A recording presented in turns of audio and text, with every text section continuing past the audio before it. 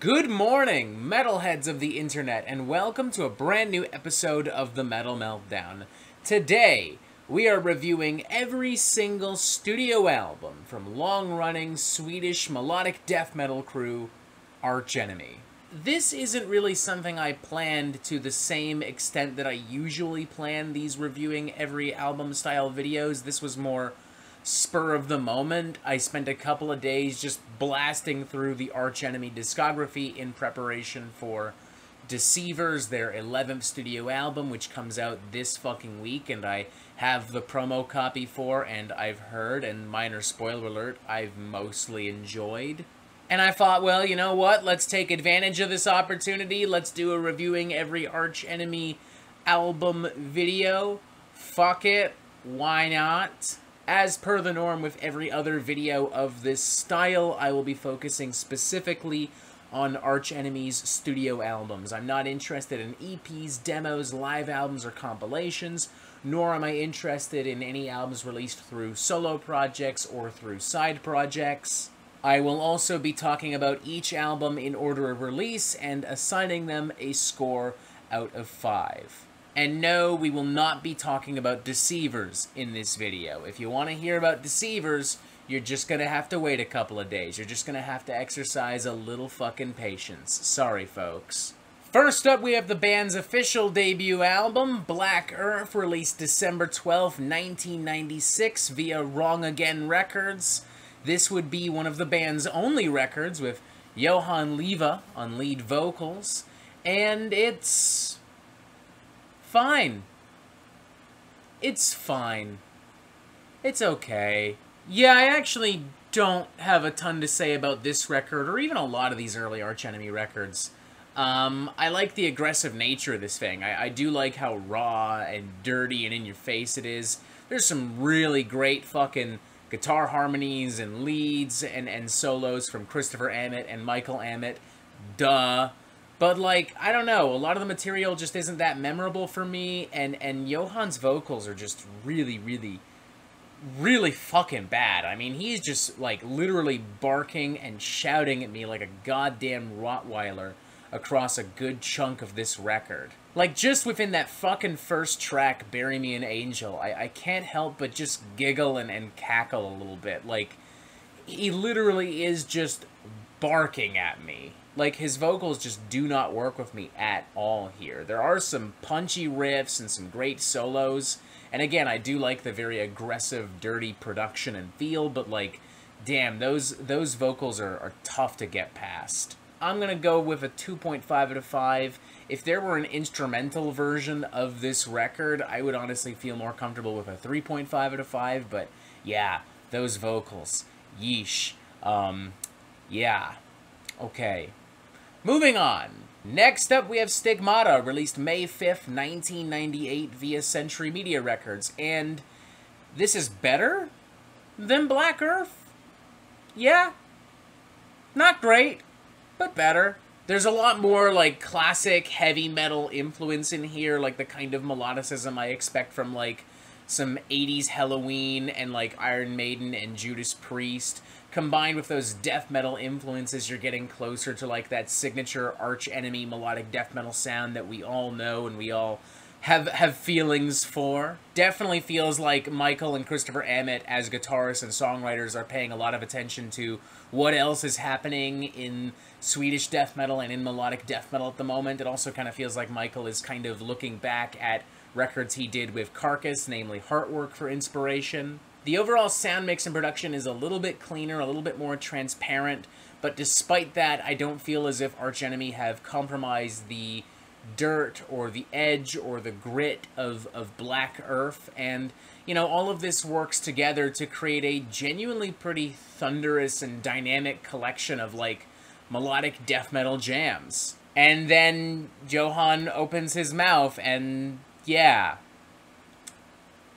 Yeah. I will say this, he sounds a lot better on here than he does on Black Earth. But even so, I, I still don't feel as if his vocals, his incessant barking and, and shouting is really fitting the music here. Like, it, it's just not matching up for me at all. And this isn't because, you know, I'm more familiar with the Angela or the Lissa material.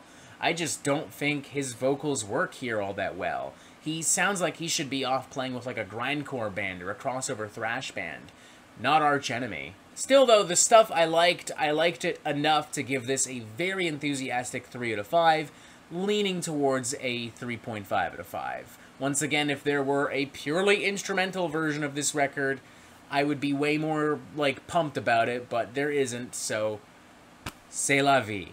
Next up, we have Burning Bridges, released May 21st, 1999, once again via Century Media Records.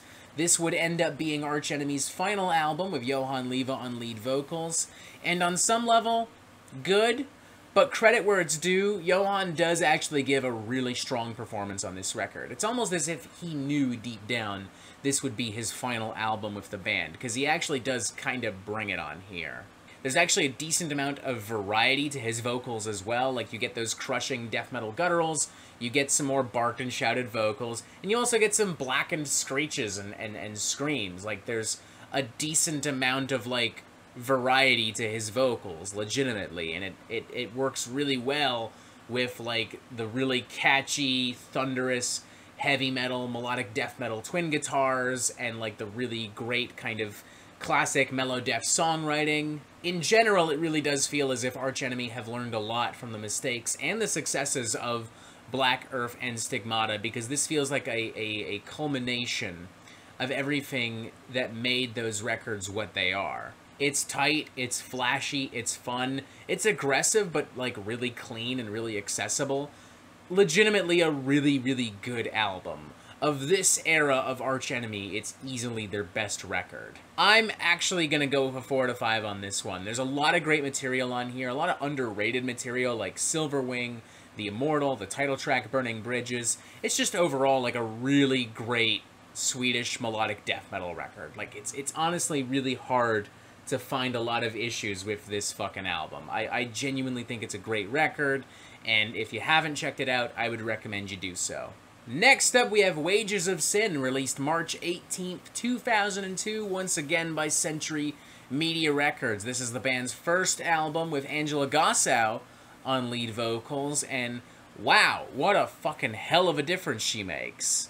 I mean, she sounds fucking fantastic on here. There's a little bit less vocal variety on this record than there was on Burning Bridges, but the sheer power and magnitude of her voice is is more than enough to to make up for, you know, that. Like she sounds fucking fantastic. It definitely feels as if the rest of Arch Enemy is like really inspired by her presence as well because everything is just punchier. It's it's heavier, it's catchier, it's louder and bigger and the production is better. There's more money being put into the record. It just overall feels better.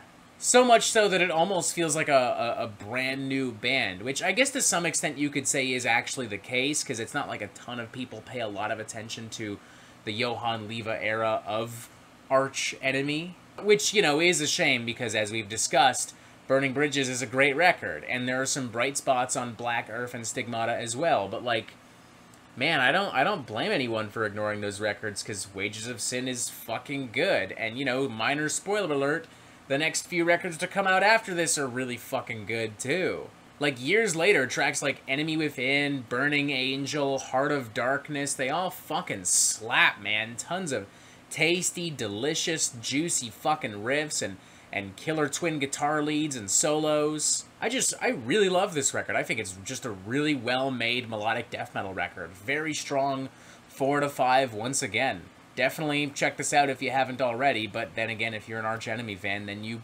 probably have. But whatever, fuck it. Go check it out again. Why not? It's it's a great fucking record. Next up, we have Anthems of Rebellion, released July 23rd, 2003, once again via Century Media Records, and we have arrived at what I feel is Arch Enemy's best album. I mean, this thing is just riffs and riffs and solos and, and big anthemic crushing hooks for fucking days. Everything that the previous two albums did so well, but it's even bigger, it's even louder, even brighter, even cleaner, better written, better performed, the most confident and the most enthusiastic and excited they've ever sounded. Simultaneously, the most brutal I think they've sounded too. Like, there's some really gnarly fucking riffs on here. Like Silent Wars, We Will Rise, Dead Eyes See No Future, Despicable Heroes, just tons of great fucking songs back to fucking back. We're seeing a little bit more variety vocally from Angela as well. You got Andy Sneap producing the record, and I know his you know his his resume is a little spotty as of late but like he did a great job just like elevating this band and and like taking everything that made them so great and just taking it to the next fucking level sonically speaking. I'm feeling a strong 4.5 out of 5 on this. I think it's their best record without fucking a shadow of a doubt. They're tightest they're loudest they're best fucking made. They're strongest they're most cohesive and consistent. No fat no filler, no shit, no nothing. Next up, we have Doomsday Machine, released July 26th, 2005 via Century Media Records, and it's pretty good. Um, it's it's definitely a step down, I would say, from Anthems of Rebellion, but all things considered, it's a, a fun, flashy display of melodic death metal, pyrotechnics, and brutal vocals, which I think is what most people would want from a band like this, so fuck it, there's no real reason to be like crazy upset. I think it's a little bit more aggressive and pummeling in the vein of like some earlier records like Stigmata and Burning Bridges, while obviously combining the melodicism and the production expected of Wages of Sin and Anthems for Rebellion. That's great. I'm just not really feeling these songs as much. Like the songwriting is not quite as tight for me, and it definitely feels like these songs are really just more of an excuse to display some like really over the top guitar noodling. But, you know, fine, because it's Michael fucking Amott, and he's a great guitar player, and so is Christopher Amott, and, like, whatever, you know? Like, Nemesis, My Apocalypse, Hybrids of Steel, all really good fucking songs, Taking Back My Soul is alright, Skeleton Dance is a little fucking silly, but whatever. There's some solid guitar pyrotechnics in there. I'm feeling a 3.5 out of 5 on this one. Definitely not as urgent or as memorable as other records, but still a, a pretty satisfying collection of, of melodeath riffery and rage. Like, wh whatever, you know? Like, just put it on, have some fun, whatever. It's, it's still pretty good, even if it's not on the same level as other records we've talked about. Next up, we have Rise of the Tyrant, released September 24th, 2007, once again via Century Media Records. And I think in, in some ways, this is one of Arch Enemy's more important records. Like, the lyrics are a lot more personal for Angela Gossow. Like, I, I've read some interviews where she talks about, like, crying after having written these songs and after having them played back for her. She talks a lot about, like, independence and, and strength on this record um, it deals a lot with like rising up against like tyranny and oppression. From a production standpoint, this is a lot stronger too. Like you've got Frederick Nordstrom uh, handling everything behind the scenes, and the dude's a fucking a master of like melodic death metal. He's produced tons and tons of killer fucking records, and everything has like this great metallic sheen to it. Everything feels absolutely fucking gigantic, and of course the fact that Michael and Christopher Amott are still throwing out tons and tons of tasty fucking gnarly riffs and, and thunderous and, and over-the-top displays of guitar fucking nonsense. Obviously, you know, that's great too. I am starting to get the vibe at this point that Arch Enemy is a bit of a one-trick pony. Like, I feel as if I've been listening to the same type of album over and over and over again from them, but with varying executions. But, like, I don't know. This still feels distinct enough, you know? Like, it's still strong enough. The songs are still hitting pretty fucking hard. I'm, I'm feeling a, a 4 to 5 on this bad boy. Ultimately, it feels like a cross between Anthem's Rebellion and Doomsday Machine. Got plenty of great songs like fucking Blood on Your Hands, uh, In the Shallow Grave, Revolution Begins, the title track Rise of the Tyrant. It's it's a it's a really good fucking record. It's a great record. Four out of five. Boom. There you go. Next up, we have The Root of All Evil, released September 28, 2009, once again via Century Media Records. And this is kind of interesting because what we have here is Arch Enemy with Angela Gossow on lead vocals with this revitalized lineup and this really like fresh, clean, modern melodeath sound kind of revisiting tracks from the first three studio albums and giving them a new coat of paint. Normally, I'm really against the idea of a band re recording older material because the new versions of those old songs almost never have the same kind of like staying power, the same kind of hunger and heart that made those original songs what they were.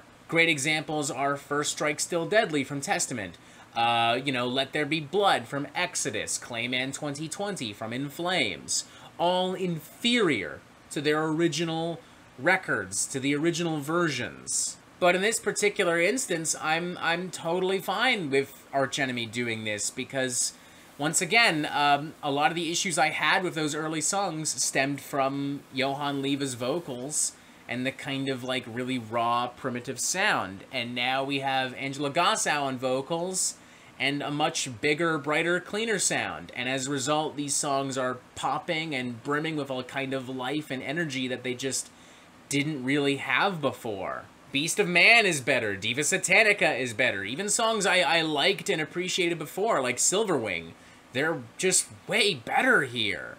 Or at least I think they are, I don't know. I'm looking online and I'm seeing some pretty mixed reviews, like all Music gave this like 3.5 out of 5 stars. Metal Hammer gave this 8 out of 10 stars. Thrash Hits gave this like 2.5 out of 6 stars. Why is there a 6 star scale? I don't fucking know.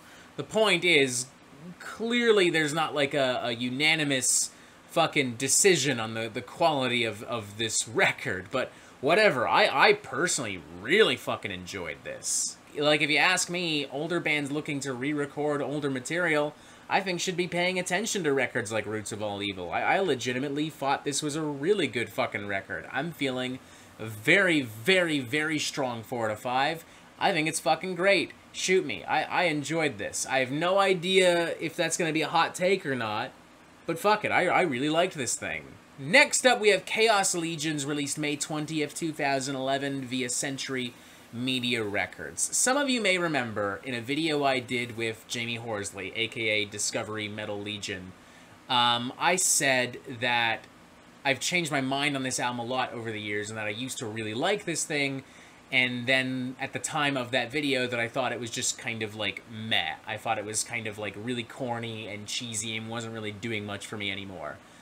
That kind of still remains the case. Like this is definitely a very corny record from Arch Enemy. Like it definitely feels like they really kind of tried to capitalize on a lot of the lyrical themes of Rise of the Tyrant, but it, it just feels like really, really, really, really, really silly and phoned in here. The record is also like so clean and so polished to the point of appearing somewhat overproduced and like everything is like designed to be as big and as anthemic as as possible. And it's it's kind of like transparently obvious and feels a little bit phony. But like it's still Michael and Christopher Amott on guitar. It's still Daniel Erlandsson on drums and Sharlee D'Angelo on bass and Angela Gossow on vocals. It's still this awesome group of uber talented people. And they are milking this lackluster material for every fucking drop of fucking gold that it can muster. Like, yeah, it's corny, it's cheesy, it's it's bloated. Tracks like Under Black Flags We March legitimately have me cringing a little bit as I'm given like these Vietnam style flashbacks of 13 year old Robert pumping his fist and screaming fuck you to everybody. But like my god the performances are still really fucking good. These guys are good enough at their fucking jobs that I'm simply not bothered by everything else. Not really at least. I'm feeling a 3 out of 5 on this. If any other band, or if any other version of Arch Enemy recorded this instead of this particular lineup, this probably would have been disregarded as like a super fucking corny, cheesy piece of fucking generic mellow melodeath tripe. But because it's this lineup and because they're this good at what they do, I'm still able to get like a few solid fucking riffs and a few solid fucking hooks out of this. Maybe it is nostalgia, I'll concede there. I did legit listen to this as a teenager, like as I was beginning to discover death metal. And something about this I just like really appreciated at the time. Maybe it was that more like classic heavy metal sheen. Maybe it's because I was an edgy little fuck and I was just like, yeah, fuck everything, and this just like resonated with me for that reason. Whatever the case, I dug it at the time. I'm kind of digging it now. shoot me. I don't fucking care. I dig it. Whatever. Fuck me, I guess. Like, it's objectively not a great album, but, like, again, these guys are just so good at what they do that it I'm, I'm still enjoying myself. I hope that makes sense. Otherwise, I look like a complete doofus right now. Next up, we have War Eternal, released June 6th, 2014, once again via Century Media Records, and it's okay. It's it's it's fine. Uh, there have been a lot of changes behind the scenes. Uh, Angela Gossow is no longer in the band. Neither is Christopher Amott, for that matter. They have been replaced, respectively, by uh, Alissa White-Gluz and Nick Cordle. Alissa, at the time, was best known for her work with the French-Canadian metalcore and melodic death metal band The Agonists. Nick was best known at the time for Arsis. These are both uber talented people, in my opinion. I don't want to imply otherwise, but something about their presence on this record within Arch Enemy has kind of thrown the rest of Arch Enemy off their game a little bit. Like, the riffs just aren't as strong. The kind of energy and enthusiasm that I expect, even from something as corny and stupid as fuck like Khaos Legions, it just isn't really here. There are still like a few solid tracks. Like I think the title track is pretty solid. As the pages burn, uh, you know the title track War Eternal. Most of the singles that were released, come to think of it, probably the best songs on the record. But there's also a lot of filler, and it's just not as flashy or as triumphant or as fun as other records in the band's discography. It feels kind of like an awkward transition album. Like Arch Enemy kind of have to rediscover who they are and they haven't done that, and hence War Eternal. I honestly feel comfortable saying this is their worst record. Like, as as stupid as Khaos Legions was in so many parts, I can at least say I had fun. This, I don't know. I mean, aside from a few songs here and there, I, I don't remember much from this record at all. So, yeah, 2.5 out of 5, leaning towards a 2 out of 5. It's I mean, it's harmless. It's a totally inoffensive Melodeath record, but definitely not as strong as uh, what we've been, you know, dealing with up until this point. Like, it's, it's, it's just way fucking weaker. And finally, this brings us to Will to Power, released September 6th, 2017 via Century Media Records. Arch Enemy sounds so much more confident and so much more full of life and creativity and enthusiasm on this fucking thing. Alissa is a lot more comfortable within Arch Enemy. She's experimenting with uh, different kinds of vocal deliveries, bringing in some clean vocals. She's writing ballads for the band, which is really interesting, and I, I really enjoy them like Reason to Believe is actually a, a pretty good song. A little melodramatic, but like a well-written, well-produced fucking song. Nick Cordle is gone, but in his place we have fucking Jeff goddamn Loomis. So like, holy shit. And he and Michael Amott are just bringing like thunderous melodeath riffs and solos and leads for fucking days. It's honestly kind of cool to hear Jeff Loomis doing something a little less over the top prog metal bullshitty and and just kind of doing some like really classic heavy metal metal death shit. Him and Michael together just have this like chemistry that absolutely brings to mind Michael and Christopher Amott, his his brother, you know, and you know the rest of the band is really fucking bringing it. The beats are bigger, the riffs are bigger. The production is so fucking crisp. Like production wise, this might honestly be one of my favorite Arch Enemy records. It just sounds fucking awesome.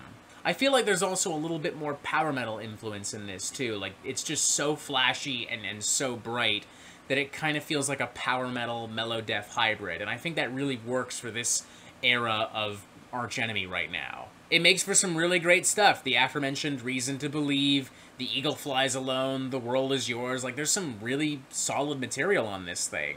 I'm feeling a very enthusiastic 3.5 out of 5, leaning towards a 4 out of 5. I think it's still a little predictable, and I would like for something a little bit more colorful and dynamic, which, spoiler alert, I think I'm getting from Deceivers, this new album. But even so, I think it's a, a big improvement on War Eternal. Much more impactful, much more memorable, much more fun.